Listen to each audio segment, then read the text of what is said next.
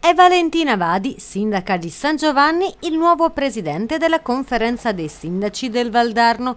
Succede a Sergio Chienni, primo cittadino di Terranuova Bracciolini che era in carica dal 2017. Innanzitutto mi preme ringraziare il presidente della conferenza dei sindaci uscente, Sergio Chienni, che ha tenuto la conferenza proprio su richiesta di noi sindaci del Valdarno anche oltre il suo mandato nel periodo difficile della, della pandemia e a questo naturalmente aggiungo anche il ringraziamento per i sindaci che hanno avuto fiducia in me e mi hanno ritenuta all'altezza di svolgere un compito così delicato.